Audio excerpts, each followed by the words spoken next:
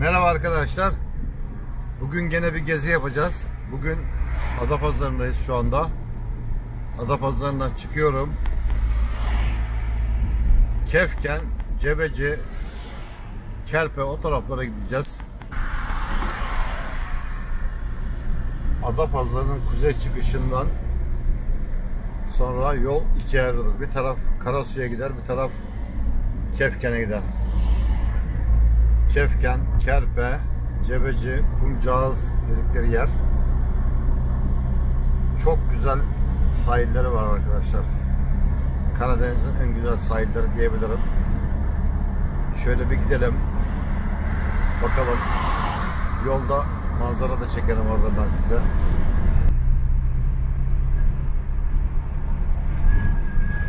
Güzel manzaralar görelim. Bir hafta İstanbul'da kaldım. Adalara gittim. Adalar ve Boğaz hariç beton yığını. İnsan yeşillik arıyor. Gerçi oturduğum ev yeşillik içinde ama buraları çok geniş arazi. Gördüğünüz gibi yaz sonu gelmiş ama hala sahil yolunun gürültüsü bitmedi.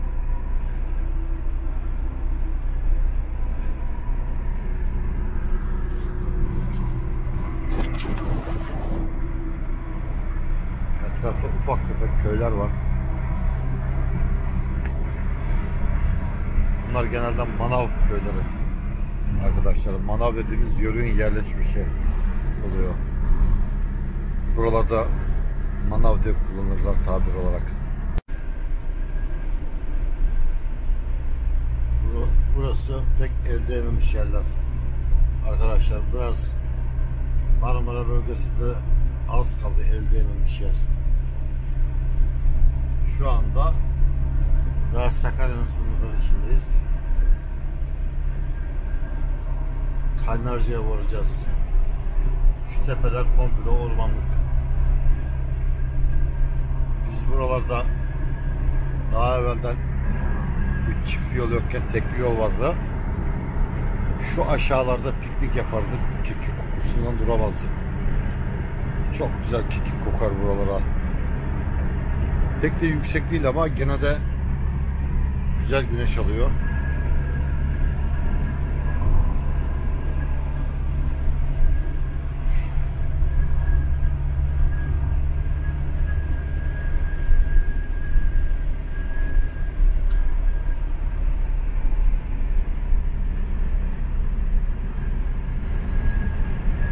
İnsanın bazen böyle şehri bırakıp da şuralarda bir kulübe yapıp yaşayası geliyor.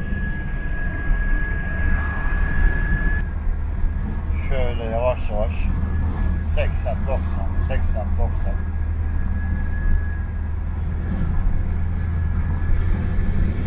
Size hiç gerek yok.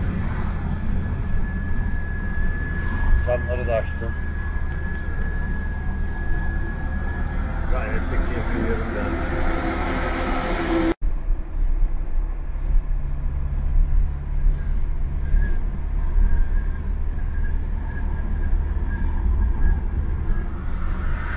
Kaynarca 3, Kandıra 20 kilometre.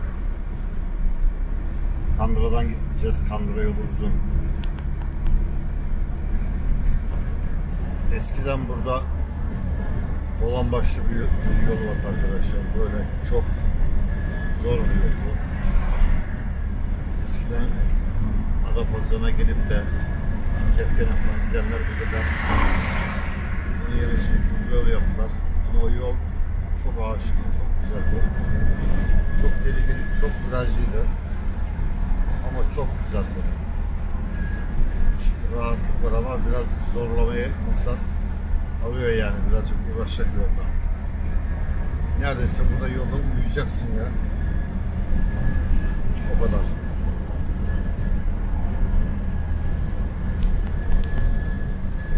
Şimdi Sakarya'nın sınır ilçesi Kaynarca'ya geldik. Burası 24.100. Yıllardır burası gelişmedi. Eksildi, ne azaldı, ne arttı. Size Kaynarca'nın içini göstereyim. Büyük şehirde olanlar gülecektir da. Hepsi tepi topu. Şöyle bir caddesi var. Ana cadde. Yanına da birkaç tane caddesi var. O kadar. Bildiğin 40 sene, 50 sene evvelin kasabası.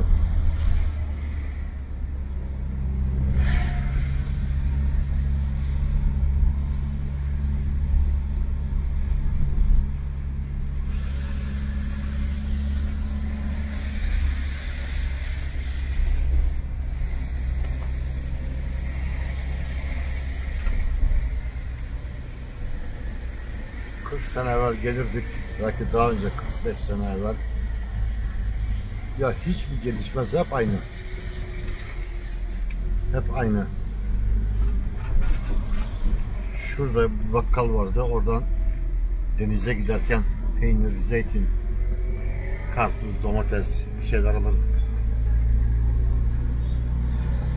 Tabii ki o zamanki karpuz, zeytinlerin, peynirlerin tadı bambaşka.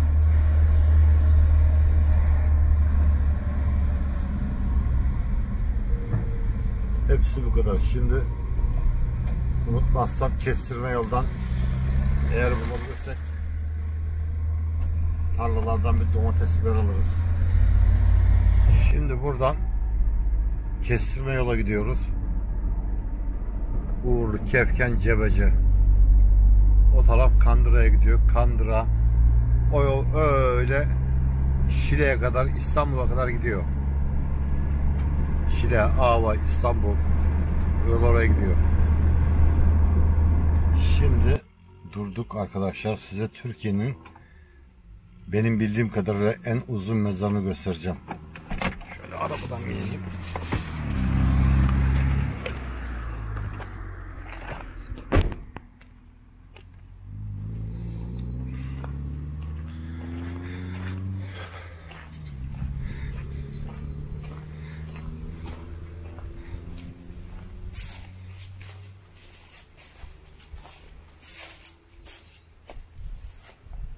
Kim olduğunu bilmiyorum. Arkadaşlar yani şu boy nereden baksan 3 metreye yakın.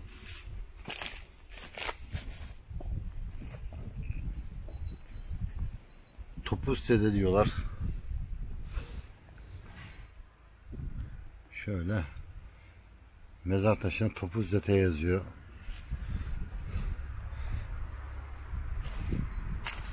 Ama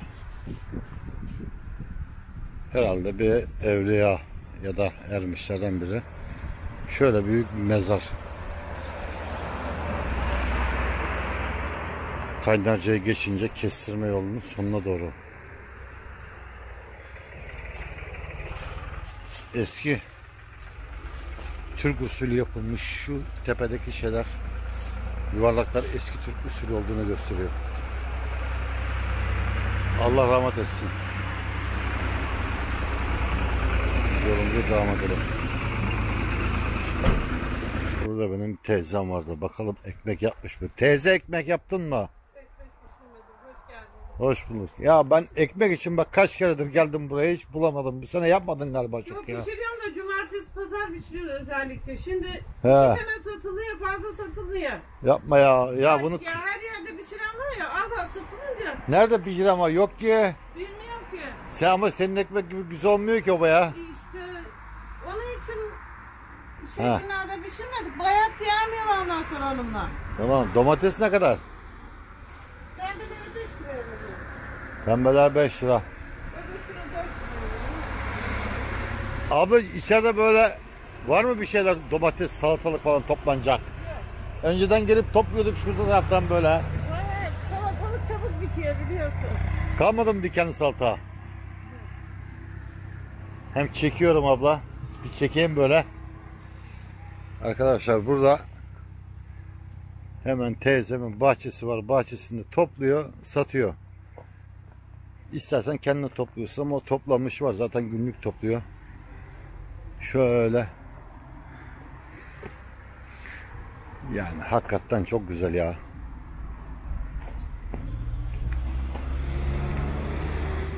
Şöyle bakıvereyim. Aha kabaklara bak. Domatesler. Bakıyor. İşte buradan koparıyor, satıyor arkadaşlar. Mükemmel. Gene bir salatalık buldum iki tane. Oo. Bu sene kurak geçti arkadaşlar.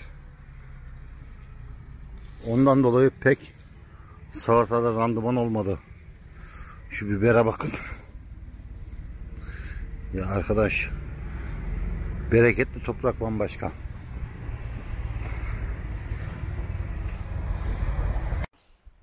Arkadaşlar bu domatesin bu bahçeden olduğu belli. Zaten daha evvel alıyoruz. Şunları alalım. Bu tamamen pembe domates. Yerli. Bakın orijinal pembe böyle olur. Yani tam yeri burası. Öyle böyle değil. Sizin pazardan aldığınız pembeler hep hibrit pembe. Onlar değil.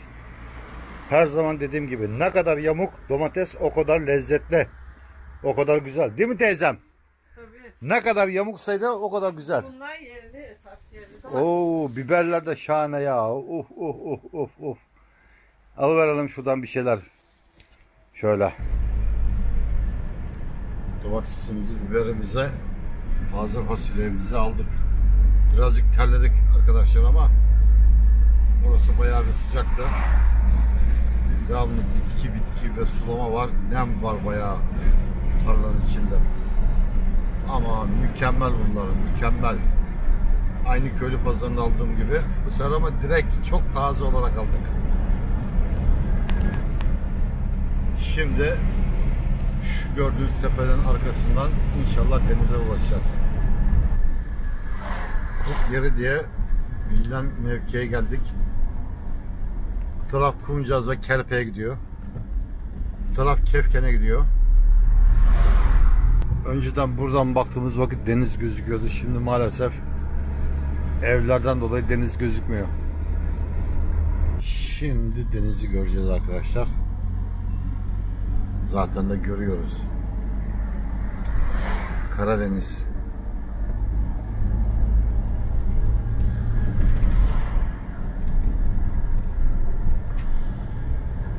Geldiğimiz yer Kefken kasabası. Orman işletmenin yeri.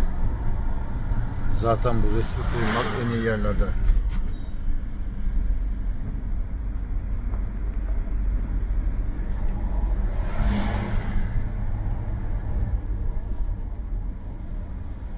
Burada bir cami var. Caminin avlusundan gelip arabayla su alıp cebeciye taşırdık. Çadırda kalırken.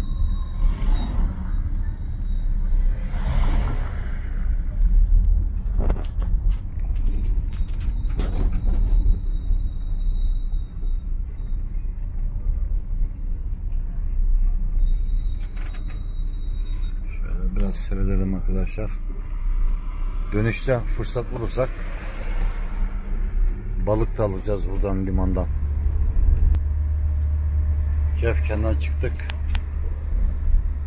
Kovnaz'a doğru gidiyoruz şu anda. İyi bir kırmızı domates bulamadım teyzede. Bakayım burada var mı? Burada da aradığım kırmızı domates yok. Burası çadır kampı. Tabii çok az çadır kalmış mevsim bitiyor. Çok yazın çok canlı olur. Bu sene pek olmadı ama. Gene biraz var.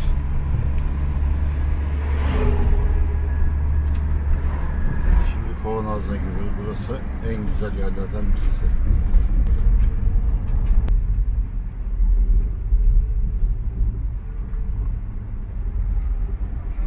Şöyle çekeyim arkadaşlar. Bakın. Mükemmel bir sahil. Ufacık bir koy ama dalga kıran olduğu için Hiç dalga olmuyor genelde. Uuu, ne kalabalık. Hafta içi bile kalabalık. Çünkü son demler yaşanıyor.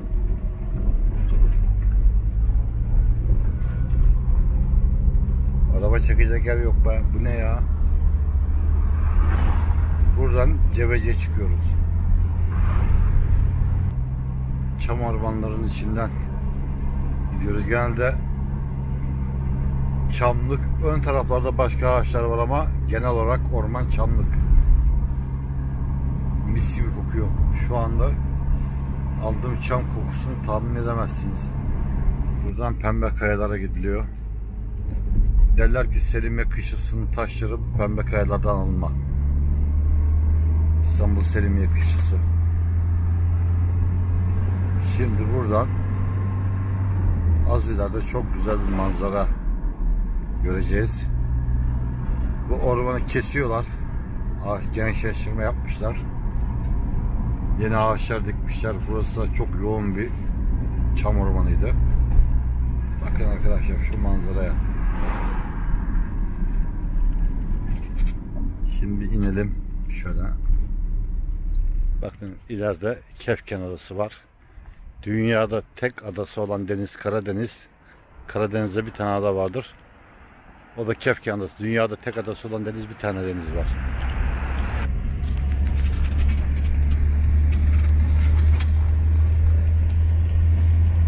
Burada çok güzel kum tepeleri var.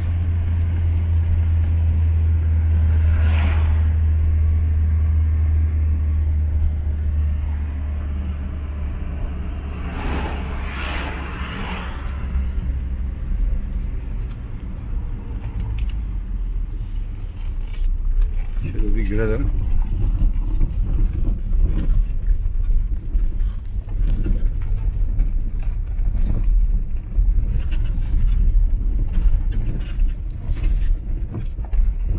Önceleri buralara çadır kurardık.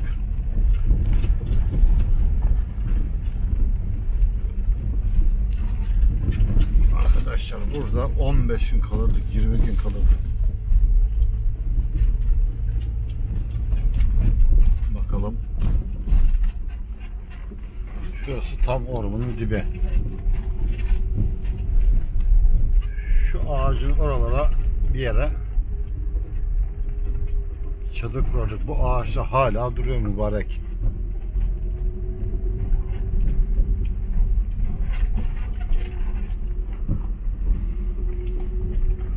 Şurada biz ufakken büyükler kocaman bir yılan yakalayıp çukura açıp gömmüşler de iyi biliyorum. Şu ağacın buralara arkadaşlar tam şuralara bir yere çadır kurardık.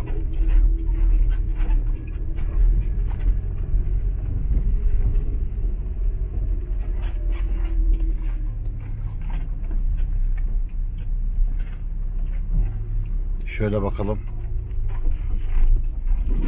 Sizin için 2.7K 60 FPS çekiyorum arkadaşlar. Bakın şu manzaraya.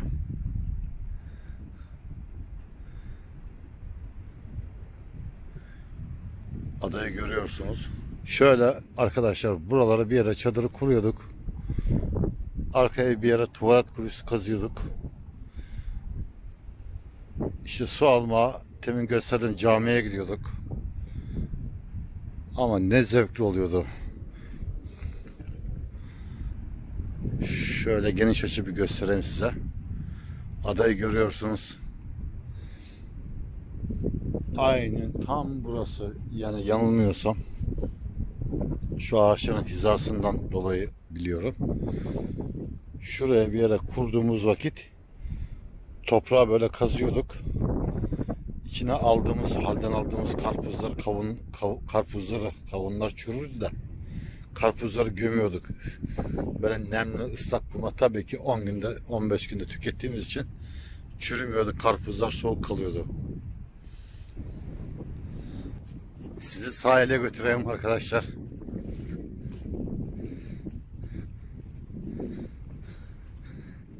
Bu yolu yürürdük çadırdan her gün. Yani ne kadar uzun gelirdi. Demek çok ufakmışık. 8-10 yaşlarında, 12 yaşlarında. Bu yol bize uzun gelirdi çok. Biraz daha kum tepeleri vardı burada tabii ki. Kumları çalmış. Hırsız bazı müteahhitler deniz deniz kumuyla inşaat olamaz zaman maalesef bu kumu ne yapacaklar? İnşaat için alıyorlar tabii ki. E o zaman da hırsız oluyorlar değil mi? Yani lafım dürüst çalışanlardan beri ama çok kum çaldılar burada arkadaşlar.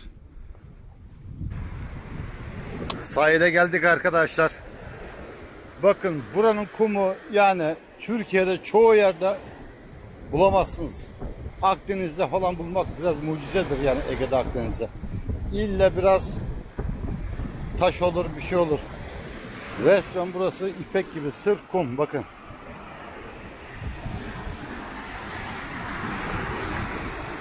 Karşıda görüyorsunuz Kefken Adası. Deniz suyu çok güzel.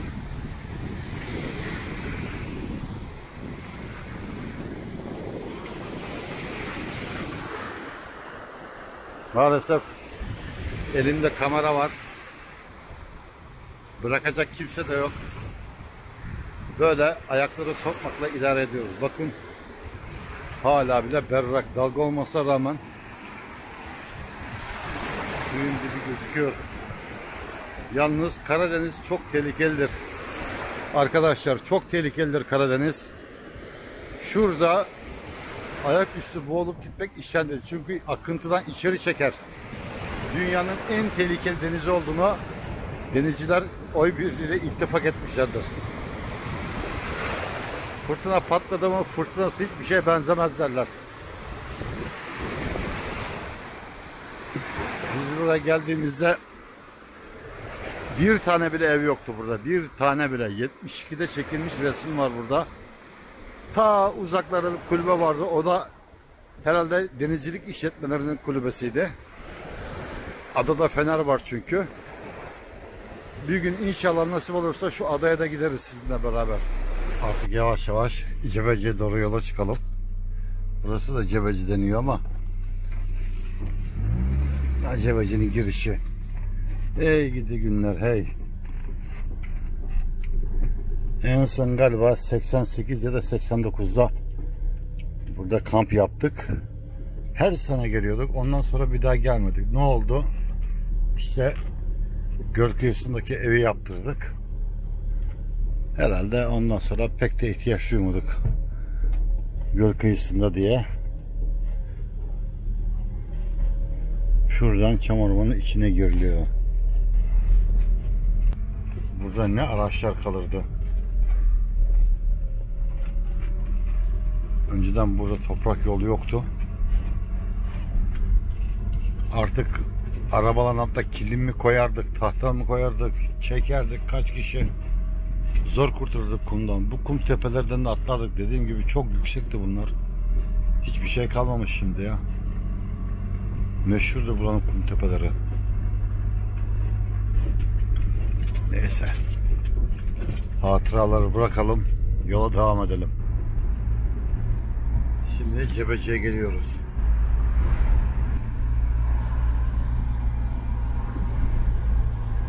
Burası Cebesi. Şöyle girebildiğimiz yerlere bir girelim. Sahile.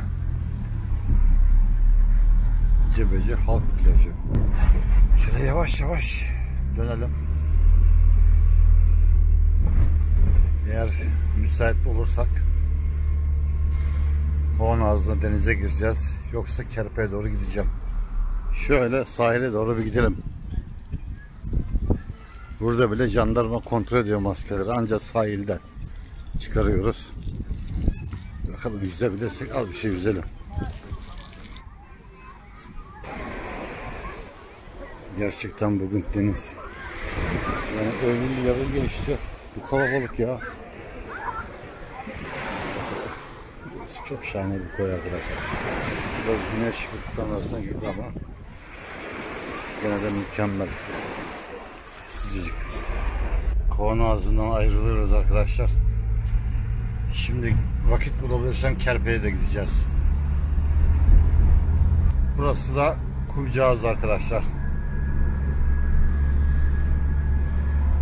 İzmit Adapazarı bölgesinin yani yaz tatili geçirdiği yerler burası genelde. Bir de Karasu var. Burası da Kumcağız plajı arkadaşlar.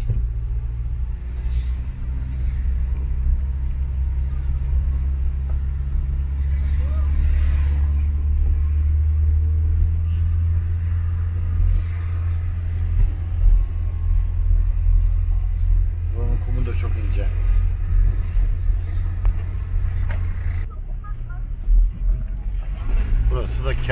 Çağı.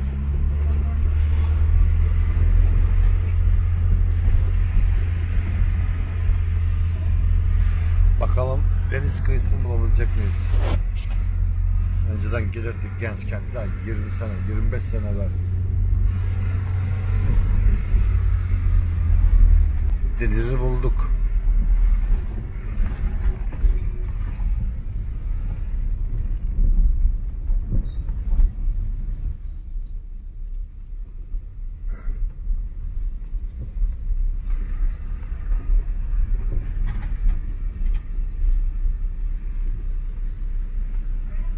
Burası şöyle güzel bir plaj. Ama benim baktığım merkezde bir yer vardı sahil bandı. Orayı bulalım. Burası da böyle bir yer arkadaşlar. Yani süper bir yer diyebilirim. Burada daha çok İstanbullu ve İzmitler olur. Cebecik yakına daha çok ada pazarlar olur. Burası da Kerpe'nin bir plajı ama plajı çok ufak.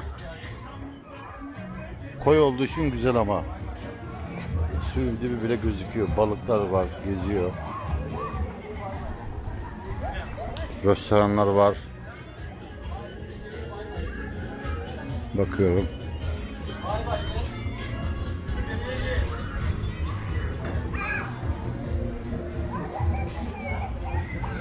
Bir videonun daha sonuna geldik arkadaşlar. Size Adapazarı ve İzmit civarındaki plajları en güzel plajları gösterdim.